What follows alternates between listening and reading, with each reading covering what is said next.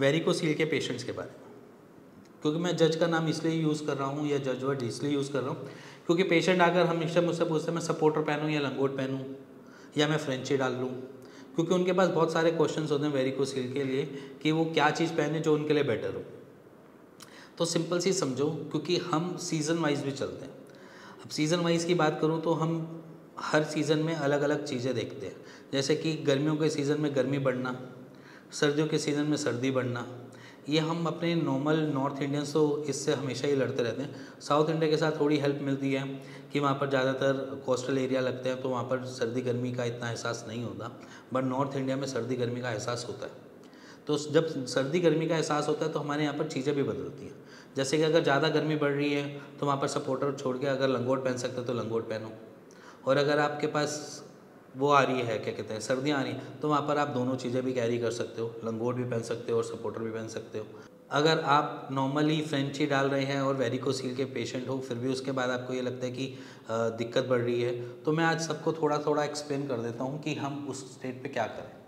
देखो, अगर आप बहुत लीन हो, पतले हो, सबसे पहली बात करेंगे जो वी शेप अंडरवियर होते हैं, उसके बारे में बात करेंगे। पेशेंट ने मुझसे पूछा कि, मैं वी शेप अंडरवियर पहनता हूँ तो मेरे को ये प्रॉब्लम आनी नहीं चाहिए क्योंकि नीचे से सपोर्ट मिल जाता है। तो मैं उसके बारे में बात करता हूँ। जो पेशेंट बहुत पतले हैं, उनके लिए वो वी शेप अंडरवेयर बिल्कुल यूज़लेस हो जाता है। उसके पीछे रीज़न ये है क्योंकि अगर आप कोई भी वी शेप वाले अंडरवेयर अगर आज से पहले कभी पहने होंगे और आप लीन हैं, पतले हैं तो उसमें क्या होता है कि वो ना चाहते हुए भी थोड़ा सा हैंगिंग मोड पे खुद ही अंडरवियर आ जाता है क्योंकि वो इलास्टिक बेस्ड होता है, कोई नाड़ा बेस्ड नहीं होता। नाड़ा होता है या कोई बांधने या टाई अप करने वाली चीज़ होती है अंडरवियर पे तो वो चीज़ें क्या होती है कि स्टिक रहती है। जो इलास्टिक बेस होती है तो उसमें एक इलास्टिसिटी रहती है तो वो लूजन अप होते हैं। और अगर देखा जाए तो वी शेप अंडरवियर अगर आप एक साइज़ छोटा भी पहनते हैं तो भी इतना असर नहीं डालता क्योंकि आपकी बॉडी टाइप जो है वो लीन होती है। तो वहाँ पर अंडरवियर जो आप कैरी करते हैं वी शेप वाला, उसको ना करते हुए आप यहाँ पर अपना लंगोट कैरी कर सकते हैं। लंगोट पहनने से क्या होगा कि आपकी जो हैंगिंग है बेसिकली हमने क्या करना है वेरिकोसिल में? वेरिकोसिल में हमने बेसिकली नीचे से सपोर्ट देना है। टेस्टिकल्स को सपोर्ट देना है, इतना सपोर्ट देना है कि वो लटके ना। जितना वो लटकेंगे, उतने आपकी टिश्यूज़ वहाँ से ब्रेक होंगे, उतने ही आपकी वेंस को और डैमेज करेंगे, जिसकी वजह से डायमीटर और बढ़ेगा। हमने वो डायमीटर नहीं बढ़ाना इसलिए हम उसको रेस्ट मोड पर रखने के लिए उसको नीचे से सपोर्ट देने की कोशिश करेंगे। तो यहाँ पर आप लंगोट यूज़ कर सकते हैं। लंगोट करने में कोई दिक्कत नहीं है। अगर गर्मियों का टाइम है तो आप लंगोट यूज़ करिए और अगर सर्दियों का टाइम है तो आप नॉर्मली अपना सपोर्टर यूज़ कर सकते हैं। क्योंकि सपोर्टर थोड़ा हैवी फैब्रिक में आता है, इस वजह से तो थोड़ी सी दिक्कत हमें दिखाई देने को मिलती है कि थाई रशेज हो जाना सपोर्टर से और अलग प्रॉब्लम हो जाना। तो इसलिए गर्मियों में लंगोट आप कैरी कर सकते हैं। अब कुछ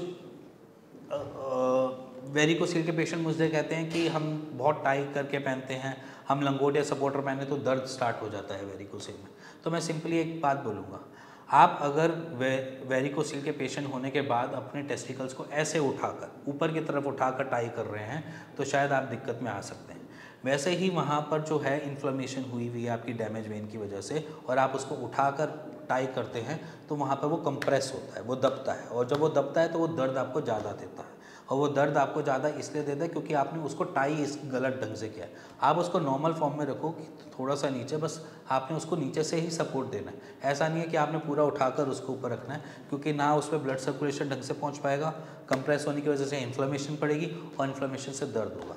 ये चीज़ें समझना, क्योंकि ये इसलिए समझा रहा हूँ क्योंकि बहुत से पेशेंट इस बारे में गलती कर देते हैं कि सपोर्टर पहनते वक्त टेस्टिकल्स को ऊपर उठाकर ऐसे टाई कर लेते हैं। तो वो चीज़ नहीं करनी।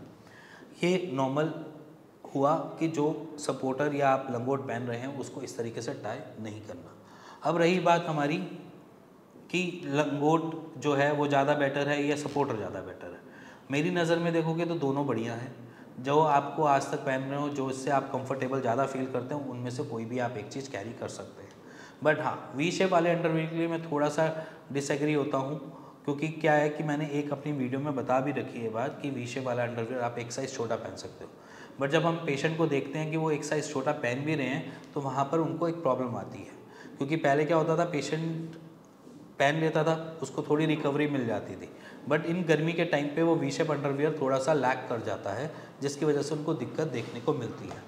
तो इसीलिए गर्मियों के सीज़न में वी शेप अंडरवियर थोड़ा सा कम कर दीजिए। और साइड बाय साइड सपोर्टर या लंगोट को जो आपको कंफर्टेबल लगे, आप वो कैरी कर सकते हो। दोनों में कोई चेंजेस नहीं है बट थोड़ा सा सपोर्टर के साथ फैब्रिक इशू होता है। अगर फैब्रिक इशू आपके सपोर्टर के साथ नहीं है तो आप उससे भी परेशान मत होइए। आप नॉर्मल लंगोट पहन सकते हैं और साइड बाय साइड अगर फैब्रिक इशू है तो आप उसको हल्का कर सकते हैं, लंगोट से चेंज कर सकते हैं। और इसी के साथ साथ एक चीज़ और बताना चाहूँगा, क्योंकि सपोर्टर के साथ या लंगोट के साथ एक कॉन्फ्लिक्ट रहता है। अब बहुत सारे पेशेंट मुझसे ये भी पूछते हैं कि रात को पहन के सोना है या नहीं सोना? मैं साफ़ मना करता हूँ कि पहन के सोने की नीड नहीं है, क्योंकि जब आप सुपाइन पोजीशन में जाते हो तो आपका ब्लड सर्कुलेशन वैसे ही अच्छा हो जाता है। मतलब सुपाइन माने कि लेटे हुई पोजीशन पे। तो लेटे हुए पोजीशन पे आपको पहनने की रिक्वायरमेंट नहीं है, वो स्क्रॉटम जो है अपने आप ही, अपने आप को कॉन्ट्रैक्ट कर लेता है, जिसकी वजह से आपको दिक्कत नहीं आएगी। और इसी के साथ अगर आप और कुछ जानना चाहते हो वेरिकोसिल के बारे में, कुछ समझना चाहते हो, तब भी नीचे दिए हुए नंबर पे मेरे को कॉल कर सकते हैं। और इवन कमेंट भी कर सकते हैं मेरे को, जिस पे मैं आपको हेल्प कर पाऊँ, वीडियो बना पाऊँ, या जिस पे मैं आपको गाइड कर पाऊँ। और इसी के साथ अगर आपको वेरिकोसिल की कुछ जानना चाहते हैं, समझना चाहते हैं उसको ठीक करना चाहते हैं, तब भी नीचे दिए हुए नंबर पर मेरे को कॉल कर सकते हैं।